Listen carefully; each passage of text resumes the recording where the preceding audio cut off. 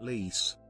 A lease is a contractual arrangement calling for the lessee, user, to pay the lessor, owner, for use of an asset. Property, buildings and vehicles are common assets that are leased. Industrial or business equipment is also leased.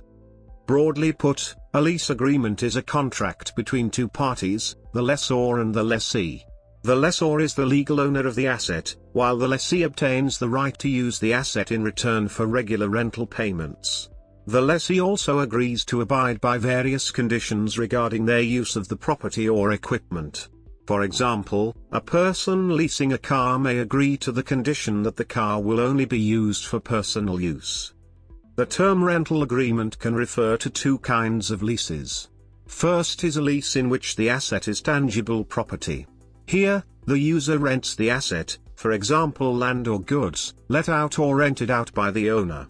The verb to lease is less precise because it can refer to either of these actions. Examples of a lease for intangible property include use of a computer program, similar to a license, but with different provisions, or use of a radio frequency, such as a contract with a cell phone provider. Dot.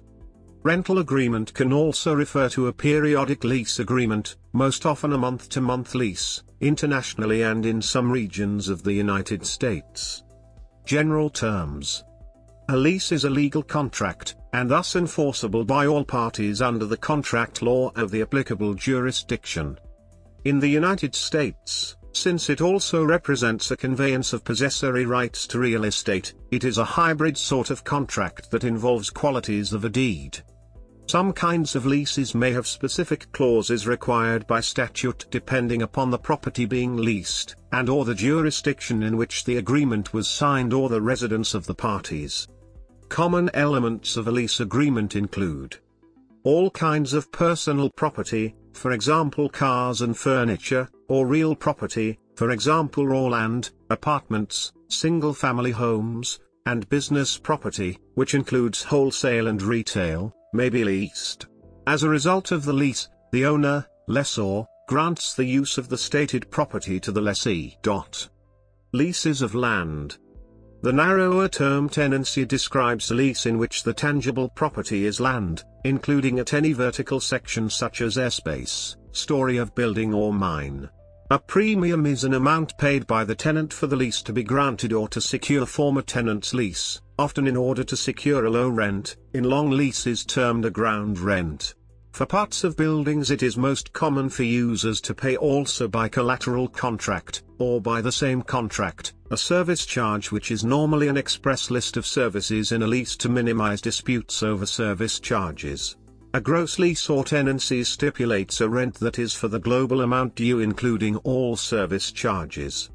A cancelable lease, UK, determinable slash breakable lease, is a lease that may be terminated, formally determined, solely by the lessee or solely by the lessor without penalty. A mutually determinable lease can be determined by either. A non-cancelable lease is a lease that cannot be so terminated. Commonly, lease may imply a non-cancelable lease, whereas rental agreement make a note a cancelable lease. Influenced by land registration, commonly tenancies initially granted for more than a year are referred to more simply as leases. The lease will either provide specific provisions regarding the responsibilities and rights of the lessee and lessor, or there will be automatic provisions as a result of local law. In general, by paying the negotiated fee to the lessor, the lessee, also called a tenant, has possession and use, the rental, of the leased property to the exclusion of the lessor and all others except with the invitation of the tenant. The most common form of real property lease is a residential rental agreement between landlord and tenant. As the relationship between the tenant and the landlord is called a tenancy, this term generally is also used for informal and shorter leases. The right to possession by the tenant is sometimes called a leasehold interest. A lease can be for a fixed period of time, called the term of the lease. A lease may be terminated sooner than its end date by. A lease should be contrasted with a license, which may entitle a person, called a licensee, to use property, but which is subject to termination at the will of the owner of the property, called the licensor. An example of a licensor-slash-licensee relationship is a parking lot owner and a person who parks a vehicle in the parking lot. A license may be seen in the form of a ticket to a baseball game or a verbal permission to sleep a few days on a sofa. The difference is that if there is a term, end time, a degree of privacy suggestive of exclusive possession of a clearly defined part, practiced ongoing, recurrent payments, a lack of right to terminate save for misconduct or non-payment, these factors tend toward a lease, by contrast, a one-time entrance onto someone else's property is probably a license. The seminal difference between a lease and a license is that a lease generally provides for regular periodic payments during its term and a specific ending date. If a contract has no ending date then it may be in the form of a perpetual license and still not be a lease.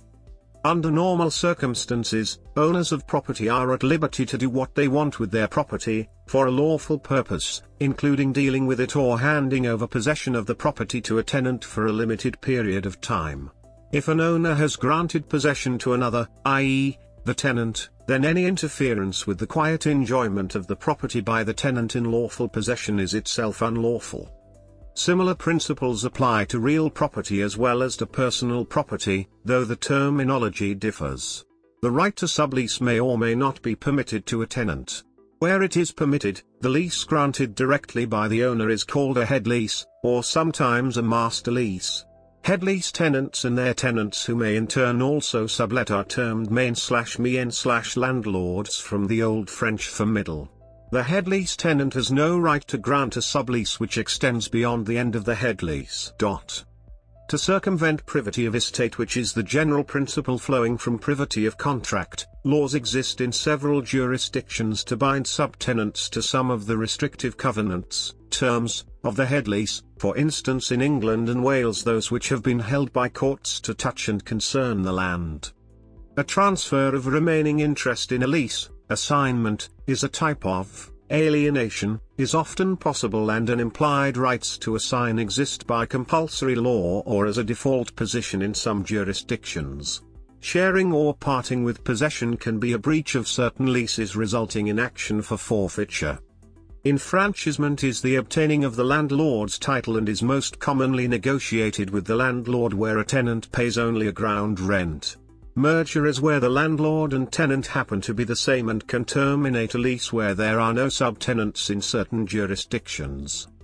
In the United States a lessee may negotiate a right of first refusal clause into their land or property lease giving them the right to make a purchase offer on the property before the leaser can negotiate with third-party buyers. This gives tenants the ability to commit to a piece of property before any other potential buyers have the opportunity. History of leases of land over the centuries, leases have served many purposes and the nature of legal regulation has varied according to those purposes and the social and economic conditions of the times. Leases, for example, were mainly used for agricultural purposes until the late 18th century and early 19th century when the growth of cities in industrialized countries made leases an important form of landholding in urban areas. The modern law of landlord and tenant in common law jurisdictions retains the influence of the common law and, particularly, the laissez-faire philosophy that dominated the law of contract and property law in the 19th century. With the growth of consumerism, consumer protection legislation recognized that common law principles, which assume equal bargaining power between the contracting parties, create hardships when that assumption is inaccurate. Consequently, reformers have emphasized the need to assess residential tenancy laws in terms of protection they provide to tenants. Legislation to protect tenants is now common. Consequently, common law has treated lease as not similar or equivalent to a common commercial contract, especially in regard to the question of whether a lease agreement can be terminated by notice, in the same way and manner as a usual commercial contract. Types of tenancies. Fixed-term tenancy or tenancy for years. A fixed-term tenancy or tenancy for years lasts for some fixed period of time. It has a definite beginning date and a definite ending date. Despite the name tenancy for years, such a tenancy can last for any period of time, even a tenancy for one week may be called a tenancy for years. At common law the duration did not need to be certain, but could be conditioned upon the happening of some event, for example, until the crops are ready for harvest or until the war is over. In many jurisdictions that possibility has been partially or totally abolished. A fixed-term tenancy comes to an end automatically when the fixed term runs out or, in the case of a tenancy that ends on the happening of an event, when the event occurs. If a holdover tenant remains on the property after the termination of the lease, S/he may become a tenant at sufferance because the lessor/landlord has suffered, or allowed, the tenant to remain as a tenant instead of evicting him or her. Such a tenancy is generally at will, meaning the tenant or the landlord may terminate it at any time, upon the providing of proper statutory notice. Periodic tenancy. A periodic tenancy, also known as a tenancy from year to year, month to month, or week to week, is an estate that exists for some period of time determined by the term of the payment of rent. An oral lease for a tenancy of years that violates the statute of frauds, by committing to a lease of more than, depending on the jurisdiction, one year without being in writing, may actually create a periodic tenancy, depending on the laws of the jurisdiction where the leased premises are located. In many jurisdictions the default tenancy, where the parties have not explicitly specified a different arrangement, and where none is presumed under local or business custom, is a month-to-month -month tenancy. Either the landlord or the tenant may terminate a periodic tenancy when the period or term is nearing completion, by giving notice to the other party as required by statute or case law in the jurisdiction. Neither landlord nor tenant may terminate a periodic tenancy before the period has ended, without incurring an obligation to pay for the months remaining on the lease. Either party must give notice if it intends to terminate a tenancy from year to year, and the amount of notice is either specified by the lease or by state statute. Notice is usually, but not always, at least one month, especially for the year-to-year -year periodic tenancy. Durations of less than a year must typically receive notice equal to the period of the tenancy, for example, the landlord must give a month's notice to terminate a tenancy from month to month. However, many jurisdictions have increased these required notice periods, and some have reduced the capacity of a landlord to use them drastically. For jurisdictions that have local rent control laws, a landlord's ability to terminate a residential tenancy is substantially reduced. For example, in California, the cities of Los Angeles, Santa Monica, West Hollywood, San Francisco, and Oakland have rent stabilization ordinances that limit a landlord's ability to terminate a periodic tenancy, among other restrictions. The notice must also state the effective date of termination, which, in some jurisdictions, must be on the last day of the payment period. In other words, if a month-to-month -month tenancy began on the 15th of the month, in a jurisdiction with a last day requirement the termination could not be effective on the 20th of the following month, even though this would give the tenant more than the required one month's notice. Tenancy at will. A tenancy at will is a tenancy which either the landlord or the tenant may terminate at any time by giving reasonable notice. Unlike a periodic tenancy, it isn't associated with a time period. It may last for many years, but it could be ended at any time by either the lessor or the lessee for any reason, or for no reason at all. Proper notice, as always with landlord-slash-tenant law, must be given, as set forth in the state's statutes. If there is no formal lease, the tenancy at will is the one that usually exists. In rare cases it may occur where the tenancy is not for consideration. Under the modern common law, a tenancy at will without compensation is very rare, partly because it comes about only if the parties expressly agree that the tenancy is for no rent, commonly where a family member is allowed to live in a home, a nominal consideration may be required, without any formal arrangements. In most residential tenancies for a fixed term, for consideration, the tenant may not be removed except for cause, even if there is no written lease. However, an oral lease for more than 12 months is not enforceable if the statute of frauds in the jurisdiction includes leases of more than 12 months. Many residential leases convert to at will tenancy subject to 30 days notice. Alternatively, a tenancy at will, without a specific time limit, may exist for a temporary period where a tenant wishes to take possession of a property and the landlord agrees, but there is insufficient time in which to negotiate and complete a new lease. In this case, the tenancy at will is terminated as soon as a new lease is negotiated and signed. The parties may also agree on the basis that if the parties fail to enter into a new lease within a reasonable time period, then the tenant must vacate the premises. If a lease exists at the sole discretion of the landlord, the law of the jurisdiction may imply that the tenant is granted, by operation of law, a reciprocal right to terminate the lease at will. However, a lease that explicitly exists at the will of the tenant, for example for as long as the tenant desires to live on this land, generally does not imply that the landlord may terminate the lease, rather, such language may be interpreted as granting the tenant a life estate or even a fee simple. Dot. A tenancy at will is broken, again by operation of law, if the the specifics of these rules differ from jurisdiction to jurisdiction. Subject to any notice required by law, a tenancy at will also comes to an end when either the landlord or the tenant acts inconsistently with a tenancy. For example, the changing of locks by the landlord is an indication of the end of the tenancy, as is the vacation of the premises by the tenant.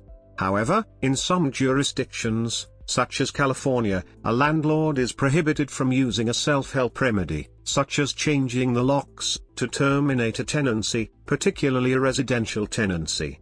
Doing so may constitute a constructive eviction and expose the landlord to civil and criminal liability. Tenancy at sufferance. A tenancy at sufferance, sometimes called a holdover tenancy, exists when a tenant remains in possession of a property after the expiration of a lease, and until the landlord acts to eject the tenant from the property. Although the tenant is technically a trespasser at this point, and possession of this type is not a true estate in land, authorities recognize the condition in order to hold the tenant liable for rent. The landlord may evict such a tenant at any time, and without notice. The landlord may also impose a new lease on the holdover tenant. For a residential tenancy, this new tenancy is month to month. For a commercial tenancy of more than a year, the new tenancy is year to year, otherwise it is the same period as the period before the original lease expired. In either case, the landlord can raise the rent, so long as the landlord has told the tenant of the higher rent before the expiration of the original lease. Formalities Formal requirements for a lease are determined by the law and custom of the jurisdiction in which real property is located. In the case of personal property, it is determined by the law and custom of the jurisdiction in which the rental agreement is made. A tenancy for a duration greater than one year must be in writing in order to satisfy the statute of frauds. Term The term of the lease may be fixed, periodic or of indefinite duration. If it is for a specified period of time, the term ends automatically when the period expires, and no notice needs to be given, in the absence of legal requirements. The term's duration may be conditional, in which case it lasts until a specified event occurs, such as the death of a specified individual. A periodic tenancy is one which is renewed automatically, usually on a monthly or weekly basis. A tenancy it will lasts only as long as the parties wish it to, and may be terminated by either party without penalty. It is common for a lease to be extended on a holding over basis, which normally converts the tenancy to a periodic tenancy on a month-by-month -month basis. It is also possible for a tenant, either expressly or impliedly, to give up the tenancy to the landlord. This process is known as a surrender of the lease. There have been recent restrictions and limitations in New York City regarding lease terms. One limitation in particular stated that units cannot be leased for a period of less than two weeks and any unit leased for less than 90 days may not allow guests or pets in the unit. Transparency and fine print. As stated by the Australian Consumer Law, ACL, 2013, a lack of transparency regarding a term in a standard form consumer contract may cause a significant imbalance in the parties' rights and obligations. A term is considered transparent if it is. Terms that may not be considered transparent include terms that are hidden in fine print or schedules or phrased in complex or technical language. Rent. Rent is a requirement of leases in some common law jurisdictions, but not in civil law jurisdictions.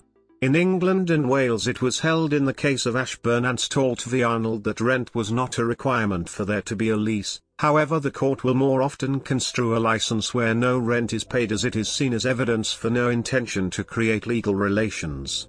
There is no requirement for the rent to be a commercial amount, a peppercorn or rent of some nominal amount is sufficient for this requirement. Exclusive possession a sharing arrangement with much of a landlord's property or, for no specific room of a building for instance, may defeat a finding of a lease, however this common requirement of a lease is interpreted differently in many jurisdictions. Provisions specific to car rental. In addition to the above, a car rental agreement may include various restrictions on the way a renter can use a car, and the condition in which it must be returned. For example, some rentals cannot be driven off-road, or out of the country, or towing a trailer, without specific permission. In New Zealand you may have to specifically endorse a promise that the car will not be driven onto 90 Mile Beach, because of the hazardous tides. There will certainly be a requirement to show a driver's license, and only those drivers appearing on the contract may be authorized to drive. It may include an option to purchase auto insurance, UK, motor insurance, if the renter does not already have a policy to cover rentals, another important consideration for multiple drivers. Some agencies may even require a bond payable if the car is not returned in order, often held in the form of a credit card authorization, voided if the car is returned per agreement. A renter should be advised that he or she will be responsible for any tolls, parking or traffic violations incurred upon the vehicle during the rental period. There should also be advice on handling thefts, accidents, breakdowns, and towing. Further terms may include added fees for late returns, drop-off at a different location, or failure to top up the petrol immediately before the return. Finally, there may be provisions for making a non-refundable deposit with a booking, terms for payment of the initial period, with discounts, vouchers, etc., extended periods, and any damages or other fees that accrue prior to the return. Leasing property. A rental agreement is often called a lease, especially when real estate is rented. Real estate rentals are initiated by a rental application which is used to build the terms of the lease. In addition to the basics of a rental, who, what, when, how much, a real estate rental may go into much more detail on these and other issues. The real estate may be rented for housing, parking of vehicles, storage, business, agricultural, institutional, or government use, or other reasons. Deposit. The security deposit is often handled as an escrow deposit, owned by the tenant, but held by the landlord until the premises are surrendered in good condition, ordinary wear and tear accepted. In some states, the landlord must provide the tenant with the name and account number of the bank where the security deposit is held, and pay annual interest to the tenant. Other regulations may require the landlord to submit a list of pre-existing damage to the property, or forfeit the security deposit immediately, because there is no way to determine whether a prior tenant was responsible. In UK the government has introduced deposit protection scheme leading to several property inventory services which can optionally be used to carry out an inventory. Insurance. In order to rent, alternatively called lease, in many apartment buildings, a renter, lessee, is often required to provide proof of renter's insurance before signing the rental agreement. There is a special type of the homeowner's insurance in the United States specifically for renters, HO4. This is commonly referred to as renter's insurance or renter's coverage. Similar to condominium coverage, referred to as a HO6 policy, a renter's insurance policy covers those aspects of the apartment and its contents not specifically covered in the blanket policy written for the complex. This policy can also cover liabilities arising from accidents and intentional injuries for guests as well as passers-by up to 150 of the domicile. Renters policies provide named peril coverage, meaning the policy states specifically what you are insured against. Common coverage areas are additional events including riot, aircraft, explosion, hail, falling objects, volcanic eruption, snow, sleet, and weight of ice may also be covered. Sublease. In real estate law, sublease, or, less formally, sublet, is the name given to an arrangement in which the lessee, for example tenant, in a lease assigns the lease to a third party, thereby making the old lessee the sublessor, and the new lessee the sublessee, or subtenant. This means they are not only leasing the property, but also subleasing it simultaneously. For example, if a company leases an office space directly from a landlord, the lessor, and subsequently outgrows the office, then the company can sublease the smaller office space to another company, the subtenant, and enter into a new lease for a larger office space, thereby hedging their real estate exposure. Dot. The sublessor remains liable to the original lessor in accordance with the initial lease, including all remaining rent payments, including operating expenses and all other original lease terms. In a down market, the original lessee may require a lower rent payment from the sublessee than what he or she may have originally paid, leaving the remaining rent owed to the lessor to be paid by the original lessee. However, if market prices have increased since the original lease was signed, the sublessor might be able to secure a higher rent price than what is owed the original lessor. However, many commercial leases stipulate that any overages in rent be shared with the landlord, the lessor. In residential real estate, it is sometimes illegal to charge the subtenant more than the original amount in the sublessee's contract, for instance, in a rent control situation where the rental amount is controlled by law. Subletting of social housing is generally illegal, whatever the rent charged to the subtenant, in the UK it is officially described as a category of housing fraud. In New York the subletting of Mitchell Lama cooperatives is illegal. Mitchell Lama residents must maintain a primary residence to remain in their cooperative. A sublease can also apply to vehicles as an alternate type of car rental. In a vehicle sublease, a lessee or vehicle owner can assign a lease to a third party and by way of contractual agreement for specific dates. Although this arrangement is not popular, it is a growing trend in the travel industry as a less expensive alternative for travelers and locals. Equipment leasing Leasing is also used as a form of financing to acquire equipment for use and purchase. Many organizations and companies use lease financing for the acquisition and use of many types of equipment, including manufacturing and mining machinery, vessels and containers, construction and off-road equipment, medical technology and equipment, agricultural equipment, aircraft, rail cars and rolling stock, trucks and transportation equipment, business, retail and office equipment, IT equipment and software. Lease financing for equipment is generally provided by banks, captives and independent finance companies.